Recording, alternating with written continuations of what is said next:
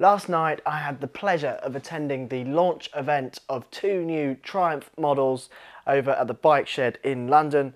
We have the all new Triumph Speed 400 and the Triumph Scrambler 400X. Both absolutely stunning models. Um, let me know what you think of these bikes in the comment section below.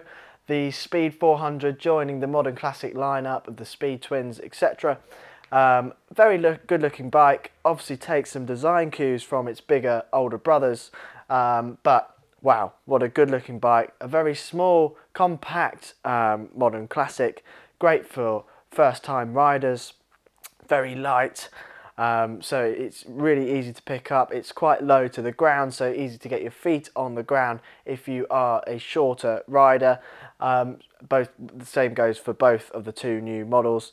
Um, both really good looking. I think I actually preferred the look of the Scrambler. Um, it's got that more rugged appeal to it, which I like. Um, but let's go into some more details about the finer points about the bikes now. Today's video is sponsored by Bikesure Motorcycle Insurance. Bikesure treat every customer as an individual and they can find you a policy no matter whether your bike is the normalest bike in the world or the craziest thing you've ever seen, whether it's a custom bike, a classic bike, a sports classic, a modern classic, um, they can find you a policy. And if you're struggling with some unusual circumstances that non-specialist brokers are finding it hard to insure you on, Bikesure can help you out with that as well. Uh, both myself and the old man use Bikesure and we couldn't be happier with them. So please do check the link in the description and get your quote today, even try and get a quote for these two new Triumphs in this video. So starting off with the looks and design of both of these models, both have been designed in the UK in Hinckley. Um, they really do have a distinct Triumph look about them. You can tell instantly that they are a Triumph. Um, you know, they've got that silhouette of a Roadster and the Scrambler. They do look very similar to their um, older brothers. Um, you've got that signature sculpted tank with a knee indent, which is very um, characteristic of a Triumph. Um, you have got the fin cylinder head and the exhaust header clamps, which are also, you know, distinct Triumph characteristics. Contemporary upswept silencer to keep it in the 21st um, century. Is that what century we're in? I can't remember. Uh, but that gives it a modern touch. So it's, it's a modern touch, hence why they're modern classics and each are available in a choice of three specific model colours. So the Speed 400 um, has a two-tone paint schemes, each featuring the Triumph tank graphic. Um, you've got Carnival Red, which is what we saw the bike in last night. Very nice colour. It's kind of a more of a crimson red. It's quite a dark red, which is nice. You've got Caspian Blue and Phantom Black colours available as well. And then the Scrambler 400X comes in Carnival Red again, Phantom Black, plus the Phantom Black and Silver Ice options. And you've got the matte khaki green and fusion white, which is what we saw the bike in last night. Very nice, really sets off that rugged tone very nicely. So really like it in that colour. Um, just what an amazing looking pair of bikes. The part of these new models which I'm most excited about is the new engine.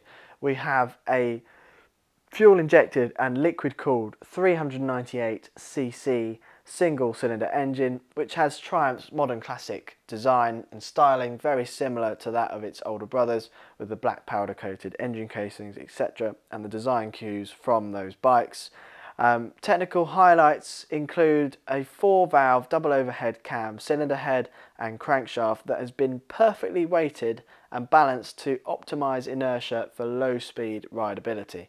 So effectively you are going to feel torque from low down in the rev range and all the way up where its peak power comes in at 8000 RPM. So this is a revy bike and it's going to feel pretty linear throughout the rev range. So this is going to be really interesting to ride when we manage to get our hands on the bike.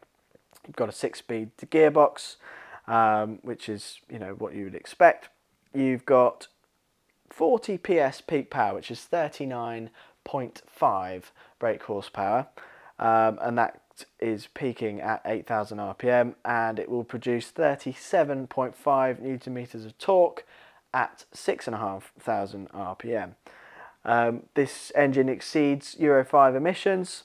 Um, now, Triumph say it will have a rich and distinctive exhaust note, which is quite the case with all the Triumphs. They do sound good, but of course, with the Euro 5 emissions means that bikes are quieter than they used to be. So, someone like myself, I would opt for a aftermarket exhaust to really get that tone and unleash the true sound of that engine. Um, this is just sounds really good on paper to be honest with you so I'm very much looking forward to getting behind the bars of one of these bikes. Moving on to the rider feel and the chassis setup for both of these bikes. Um, the Speed 400 has a seat height of 790 millimeters, while the Scrambler is 835 millimeters. So both these bikes sit relatively low. So if you are a shorter rider, you'll have no trouble getting on and off this bike and maneuvering at low speed, putting your feet down shouldn't be an issue. The Speed weighs 170 kg, while the Scrambler weighs 179 kg. So both are light and they do feel light to sit on. Um, so again, leaning them over, they'll be nice and agile in the twisties and nice and easy to maneuver at low speeds. Both bikes have their own model specific chassis setup. So you've got a new frame, bolt-on rear subframe and a cast aluminium swing arm and specific suspension setups for each bike. The Speed has a large 43mm big piston upside down front forks, monoshock rear suspension with external reservoir. You've got lightweight 17 inch wheels um, for the roadster style and geometry um, and wheelbase. Front brake, you've got a four piston caliper uh, with a 300mm front disc. Um, and then on the Scrambler, you've got a 320mm front disc um, and optimized pad compound to give you that better braking performance in all conditions. Um, on the Scrambler, you've got a longer wheelbase, a longer travel suspension, larger 19 inch front wheel, and wider handlebars for better stability on loose surfaces. Moving on to some key features of this, both these bikes, you've got ride by wire throttle, um, so it gives you that linear power delivery. You have got switchable traction control on both models, so if you want to turn it off, you can. I wouldn't probably bother, but if you want to go sideways, you can. Um, dual channel ABS, which is switchable on the Scrambler for off-road use, so if you are doing some off-road um, riding on the Scrambler, you can switch the ABS off. You've got torque assist clutch, which reduces the clutch lever effort, so um, you're not going to get that hand cramp. If you're riding in the city and you're going in and out of traffic and you keep having to stop start, then that feature is absolutely brilliant. All LED lighting, so it's um, yeah all LED, really powerful headlights, so really nice. And you've got the new dual format instruments, so you've got an analog speedometer, which looks really nice.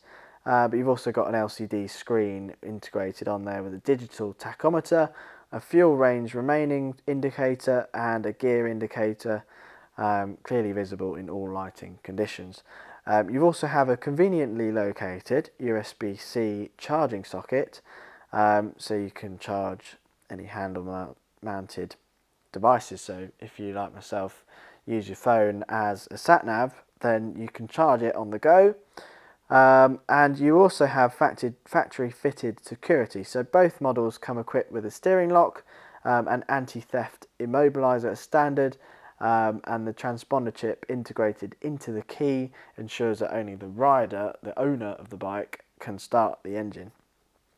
Um, price wise, we don't have a price for these bikes yet. So they will launch in India starting from next month. So these bikes are going to India first, which is, um, well, it's not surprising as they're a low capacity bike. Motorcycles are extremely popular in India, um, and this is really going to rival some Royal Enfields. So um, it kind of sits very much in between power wise the classic 350 or the Hunter, more likely the Hunter, it's quite similar, um, but it's got a lot more power than the Hunter, double um, and it sits just below the Interceptor and obviously it's a 400 not a 650 so really interesting it's going to be interesting to see what the price is, um, but it doesn't launch in the UK and other markets until the start of 2024. So that's when we'll get the prices for our UK bikes. So no idea how much it's going to cost. I'm very interested to find out because I think that'll be a deciding factor for a lot of people. You've got two year unlimited mileage warranty from standard. You've got class leading 10,000 miles service intervals, so you're not constantly going in for a service. Um, so really, on paper, these bikes sound fantastic. Let's wait and see what the price will be like for both of these models. Um, let me know in the comments section down below whether you think these will be a hit or a miss.